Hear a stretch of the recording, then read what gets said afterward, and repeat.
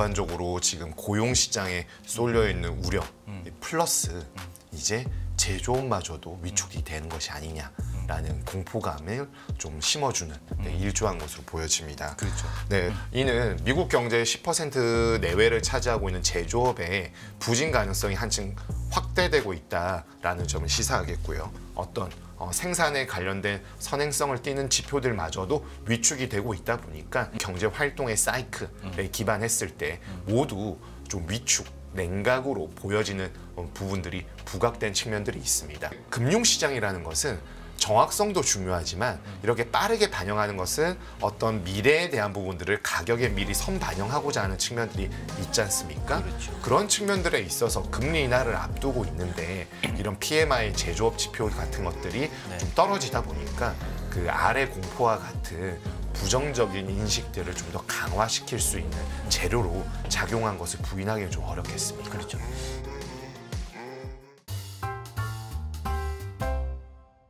시청자 여러분 안녕하십니까? 굿모닝 포커스 경제 훈풍 시작합니다. 지난 3일 발표된 미국 제조업 경기 지표가 시장의 예상을 밑돌면서 경기 침체에 대한 우려가 다시 커지고 있습니다. 우리나라를 포함한 아시아 주요 증시 이 영향을 고스란히 받으면서 일제히 유동을 쳤는데요. 세계 경제가 다시 불황 아래 공포로 뒤덮인 상황. 상상인증권 리서치센터 신월 투자 전략 팀장님과 함께 진단해 보겠습니다. 어서 오세요. 네, 안녕하세요. 정말 아래 공포가 다시 살아나는 것 같아요. 네. 각종 지표가 그렇게 향하고 있는데 일단 공급관리자협회가 발표한 8월 제조업 구매관리자 지수 (PMI) 이게 이제 이번 글로벌 증시 하락의 원인이었단 말이에요. 네. 이거 좀 설명해 주세요. 네, ISM이나 S&P 모두 PMI가 어, 중립선인 기준선인 50포인트를 하회했고 예. 시장 예상치 또한 어, 밑도는 모습을 보였기 지- 때문에 어, 전반적으로 지금 고용 시장에 쏠려 있는 우려 플러스 이제 제조업마저도 위축이 되는 것이 아니냐라는 공포감을 좀 심어주는 네, 일조한 것으로 보여집니다. 그렇죠. 네, 뭐 좀 전에 말씀 주셨겠지만 어, 8월 ISM PMI는 47.2 포인트를 기록했고요. 네. 이러한 부분들을 중에서도 가장 핵심이라고 할 수 있는 신규 주문 지수는 7월 47.4 포인트에서 어, 8월 44.6 포인트로 더 떨어졌습니다. 예. 생산 역시나 마찬가지의 흐름들을 보였었는데 이는 미국 경제의 10% 내외를 차지하고 있는 제조업의 부진 가능성이 한층 확대되고 있다라는 점을 시사하겠고요. 어, 특히나 이제 공장과 같은 제조업의 핵심 어, 동력들이 부진할 수 있다라는 점인데 왜 그럴까라고 생각을 해 본다라면은 지금 11월 초에 미국 대선이 있지 않습니까? 그렇죠. 그리고 9월 달에 어, 이제 어, 다음 음, 다다음 주죠. 예. 연준에 FOMC가 예정되어 있는데 금리 인하라는 것은 물가에 대한 한 측면도 있겠지만 고용 시장이 상당히 빠르게 냉각되고 있는 측면들을 본다라면은 경기 사이클 측면에서는 어, 공장 활동과 같은 제조업에 있어서는 그렇게 긍정적이다라고만 해석하기는 다소 어려운 측면 또한 내재되어 있습니다. 예. 그렇기 때문에 불확실성을 앞두고 캐펙스로 대표되는 자본과 재고 관련된 투자를 네. 활발하게 하기가 좀 어렵다 라는 점을 그렇게 되겠죠. 나타내겠고요. 예. 어, 거기에다가 만약에 투자를 좀 집행하기 위해서는 음. 좀 전에 말씀드렸던 신규 주문이라도 좀더 늘어난다라면은 음. 미리 확보 차원에서 투자를 할 수 있겠지만 음. 그러한 측면에 있어서 선행성을 띠는 어떤 어, 생산에 관련된 선행성을 띠는 지표들마저도 위축이 되고 있다 보니까 음. 공교롭게 이제 정치 이벤트, 정책 이벤트 그리고 경제 활동의 사이클에 음. 기반했을 때 모두 좀 위축, 냉각으로 보여지는 어, 부분들이 부각된 측면들이 있습니다. 특히나 PMI가 survey를 통해서 하다 보니까 그렇죠. 네. 어, 지표의 정확성보다는 신속성에 좀 focusing을 두는 지표가 되겠습니다. 어, 예. 정확하기보다는 이제 뭐 이렇게 추세를 네, 하시는. 음. 설문지를 통해서 각 담당자들의 심리가 좀 더 명확하게 그렇죠. 드러나게 관리자에 되는데 대해서 조사를 하는 거니까. 맞습니다. 예. 그런데 이제 금융시장이라는 것은 정확성도 중요하지만 음. 이렇게 빠르게 반영하는 것은 어떤 미래에 대한 부분들을 가격에 미리 선 반영하고자 하는 측면들이 있지 않습니까? 그렇죠. 런 측면들에 있어서 금리 인하를 앞두고 있는데 이런 PMI 제조업 지표 같은 것들이 네. 좀 떨어지다 보니까 그 아래 공포와 같은 부정적인 인식들을 좀 더 강화시킬 수 있는 재료로 작용한 것을 부인하기는 좀 어렵겠습니다. 그렇죠. 말씀하신 대로 이제 제조 지표, 그다음에 고용 지표, 소비 지표 여러 가지가 이제 가- 같이 맞물려서 돌아가는 거예요. 네, 근데 맞습니다. 이번 주는 최근에 들어서 가장 포커스를 받는 게 이 고용과 관련된 겁니다. 네. 이 고용이 과연 좋느냐 만- 나- 아니냐에 따라서 경기 지표가 이제 확실하게 이제 예상을 할 수 있기 때문에 네.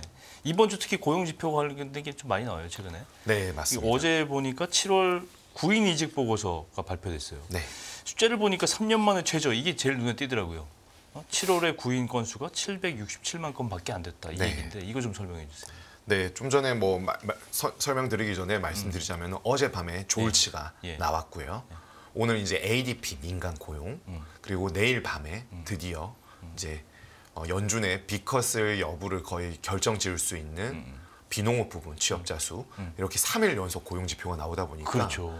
금융 시장은 상당히 필요하다고 볼 수가 있겠습니다. 네, 네. 근데 이제 그 서막을 알리는 조울츠 9인 이직 보고서에서의 결과치는 7월 767.3만 건을 기록을 했고요. 예. 예상치가 800 만 건 좀 넘는 809만 건이었습니다. 훨씬 못 미쳤네. 훨씬 못 미쳤죠. 한 7% 정도 네. 하회하는 모습이었고 거기에다가 좀 더 우려스러웠던 부분들은 그동안의 이 고용 시장의 지표들이 좀 들쑥날쑥하는 부분들이 있었거든요. 네. 근데 6월 달에 818만 건의 지표가 791만 건으로 줄어들었습니다. 음. 수정치가 더 줄어드는 모습을 나, 나왔기 때문에 만약에 6월에 810만 건대에서 7월 767만 건으로 줄어들었다 많이 떨어졌다라고 볼 수 있는데 6월에 791만 건 하향 조정이 되면서 지금 매 월간으로 800만 건을 계속 하회하고 있다라는 그러네요. 측면에서는 네.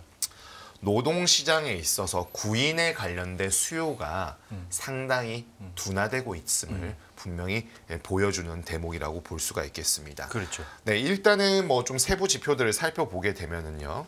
구인 비율은 6월 4.8%에서 7월 4.6%로 음. 떨어졌습니다. 어, 반면에 퇴직 비율은 6월 3.2에서 3.4%로 소폭 올라갔습니다만은 음. 해고율이 6월 1.0%에서 7월 1.1%로 어, 0.1% 포인트 올라갔습니다.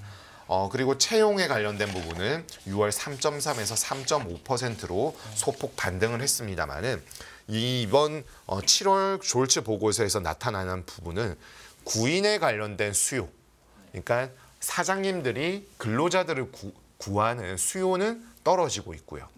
해고는 급격하게 증가하는 것은 아니지만 밋밋하지만 계속 늘어나고 있다. 그리고 세부적으로 조금 있다가 베이지북에서도 말씀드리겠지만 이 고용주 사장님들의 인식이 자연적인 감소를 좀 원하고 있습니다. 음. 그러니까 퇴사를 하거나 뭐 휴직을 하거나 이런 자발적인 퇴사가 좀 늘어나면서 채용된 근로자의 수가 조금씩 감소하는 부분들을 원하고 있는 그런 어, 베이지북에서 나왔었는데 네. 졸치 보고서에서도 그와 거의 유사한 수준의 지표들이 확인이 되었습니다. 말씀하신 대로 이제 뭐 연준의 경기 동행 보고서 베이지 북이 나왔잖아요. 나왔는데 여기 이제 고용 감소 부분을 제가 들여다 보니까 다섯 개 지역 고용은 살짝 증가했는데 나머지는 그렇지 않다. 네. 약간 이게 애매한 부분이고 전체적으로는 경제 활동을 보면 12개 지역 중에 9개 중 9개 지역에서 감소했다. 이건 확실하게 이제 네. 경기가 후퇴하고 있다. 이런 맞습니다. 시그널이에요, 사실. 네. 근데 여기서 우리가 봐야 될 게 이제 고용을 계속 보고 있잖아요. 네. 이 고용 평가는 어떻게 봐야 됩니까? 네, 좀 전에 말씀 주셨지만 경제 활동이 보합 또는 감소로 된 지역이 아홉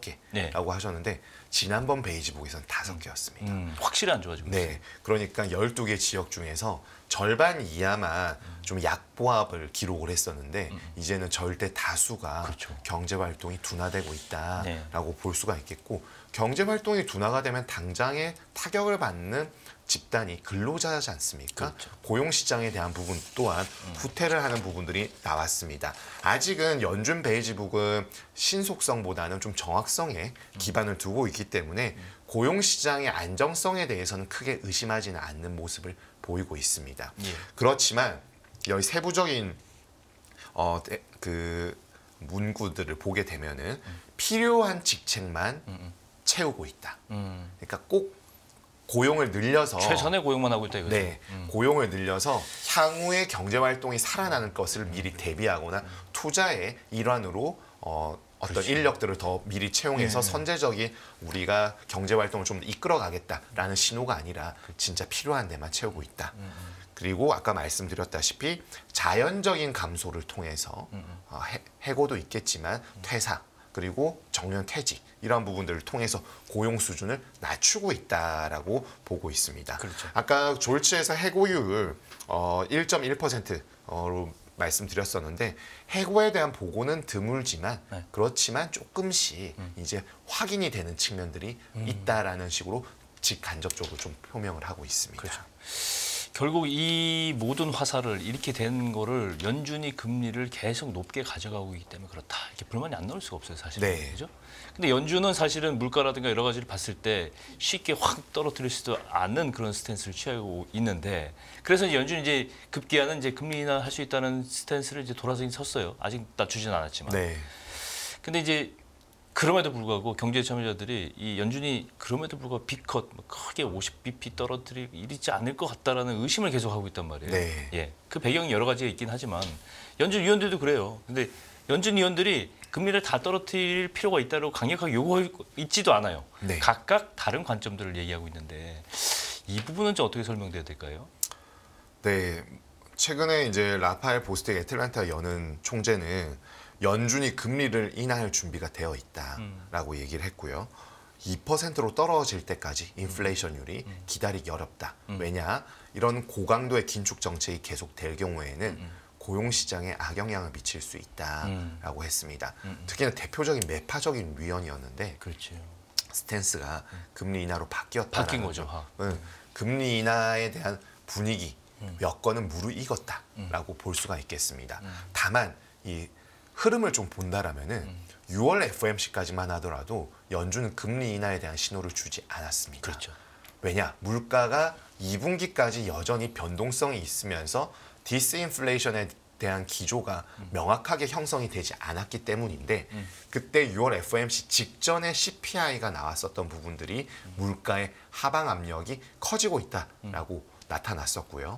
지난 7월 말에 있었던 FOMC에서는 좀 열린 모습이었지만 명확한 신호는 없었습니다. 그렇죠.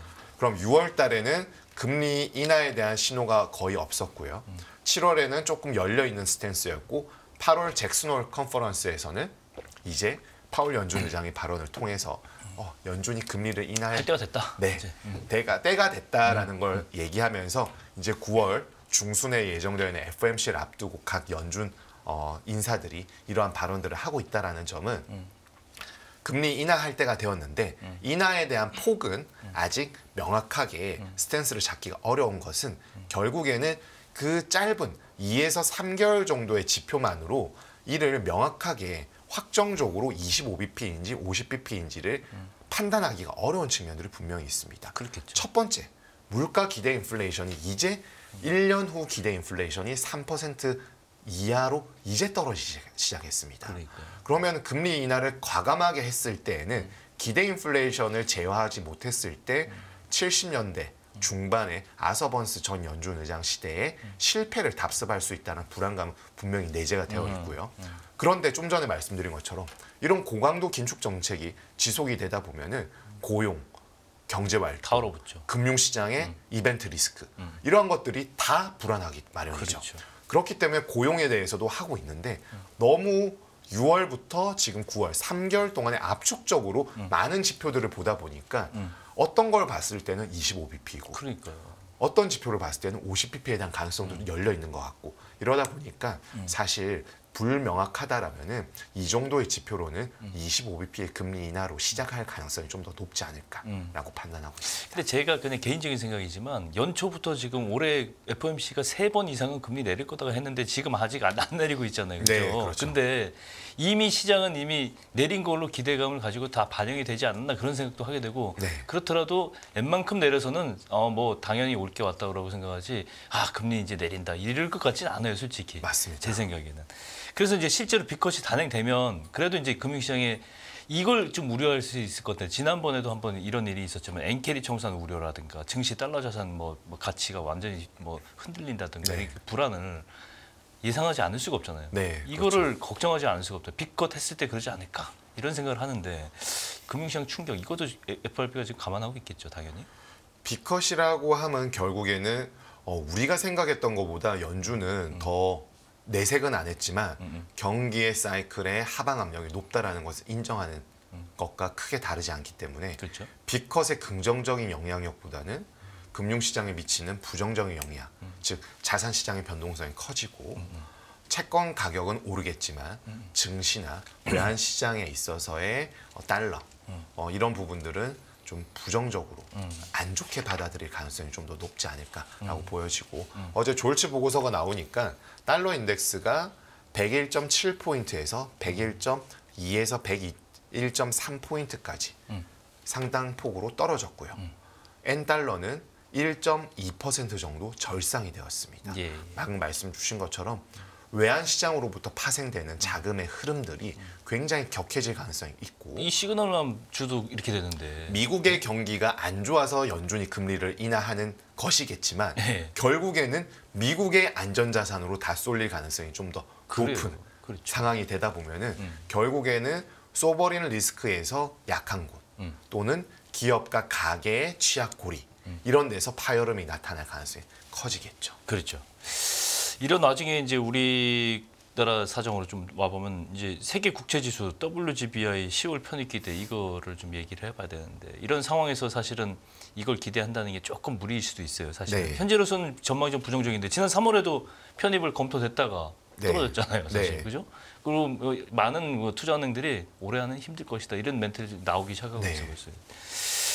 그동안은 뭐 3월 이후에 국제통화계좌 개통이라든가 외환시장 뭐 야간 거래 허용 같은 제도적 여건은 많이 권고사항이었는데 이걸 많이 개선을 했는데 네. 그럼에도 불구하고 아직까지 실거래가 많지 않다 뭐 이런 이유들을 들어서 네. 이번에도 쉽지 않을 것이다. 네. 어떻게 보세요?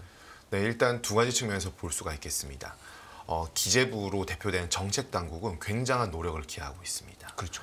어, 2년 전인 22년 9월에 현 정부 출범 이후 이거를 이제 목표로 삼으면서요. 네. 외국인들의 국채 관련된 투자에 대한 이자 소득을 비과세로 돌리는 시행령을 개선했었고요. 예. 22년 9월 딱 2년 전에 watchlist에 편입을 하게 됩니다. 음. 그럼 watchlist에 들어갔다면 좋은 건데 네. 이게 편입을 보증하는 것은 절대 그렇죠. 아니거든요. 한번 보겠다 이거죠. 네. 그래서 이제 시간이 1년까지는 그냥 어느 정도 괜찮았는데 음, 음. 실장님 말씀 주신 것처럼 이제 올해부터는 약간씩 이제 음. 들어가야 된다는 이제 압박감이 생기기 시작한 것이죠. 근데 올 연초까지만 하도 1년 반 정도니까 네. 그래 한번 테스트 해 보자. 네. 더 많은 걸 제도적 개선을 해오고 음. 알리면 된다라고 했는데 이제 2년이 만 2년 도래하다 보니까 서두르는 측면들이 있습니다. 음. 국제통화계좌 개통 했지만 아직 실적이 미비합니다. 그렇죠. 그리고 외환시장 야간 거래 허용 알고는 있지만 아직 낯설죠. 음. 우리 또한. 거래가 사실 별로 없긴 해요. 네, 이게 맞습니다. 터질려면 뭔가 계기가 있어야 되는데. 사실 뭐 네. 여담이지만 리서치에서는 종가를 이제 새벽에 봐야 되는 그렇죠. 상황이 되다 보니까 3시에 정규 종가가 나오고 다시 새벽에 또 종가 보야 네, 봐야 되고 그렇죠. 약간 이것도 시스템적인 문제도 있긴 있어요. 네 아직 이제 익숙치 않은 익숙하지 사- 않아서. 아는데 이 WGR 편입은 결국에는 각 글로벌 지역의 서베이를 통해서 예. 결과를 보고 음. 편입 여부에 대한 판단을 명확하게 하게 되는데 예. 어 이게 제도적인 개선이 이제 여름 정도에 거의 구비가 됐거든요. 그렇죠. 얼마 안 됐어요. 네. 네. 근데 이제 아시아나 북미 쪽에 대한 부분들은 어느 정도 우리가 네. TF를 토- 출범하고 홍보 활동을 하고 우리가 하고 있다라는 것인데 네. 이게 7, 8월이 바캉스 시즌입니다. 서구. 비수기. 네. 일을 거의 안 할 때. 예, 예. 그러니까 이걸 알린다고 하더라도 효용성이 좀 떨어지는 측면들이 분명히 있겠죠. 음. 사실 사람이 하는 일이다 보니까 사람의 그런 어, 인식과 인식이 바로 어떤 어, 행동의 변화로 야기하는 것은 시간이 걸리는 문제가 있거든요. 예. 서베이 또한 마찬가지입니다. 어, 바캉스 갔다 왔는데 다른 나라의 이런 상황들이 바로 바로 와닿지는 않거든요. 그렇죠. 그러다 보니까 이번에 발표는 9월이 아니라 10월 초로 네. 좀한 달 정도 지연이 되었지만 어. 결과에 대한 취합에 있어서 크게 변화가 있을까에 대한 음. 고민들은 분명히 내재가 되어 있고요. 다만 기재부와 같은 정책 당국에서 이를 추진하는 것은 올해의 역점 사업이기 때문에 올해 마침표를 찍고 싶은 것도 있겠지만 음, 어, 지금 연말 지금 이번 당장 9월부터 FMC 금리 인하가 있고요. 네. 어떤 이벤트가 생길지 모르는 상황에다가 11월 초에는 미국 대선이 있습니다. 그렇죠. 대선은 어떤 후보가 되느냐에 따라서 글로벌 금융 시장이 음. 변동성이 강- 굉장히 높고 정책에 대한 판단들을 음. 경제 금융으로 다각도로 영향을 미치게 되는데 이러한 것들이 도입이 된다라면 안전판의 역할을 할 수 있다라고 생각하는 것이 있거든요.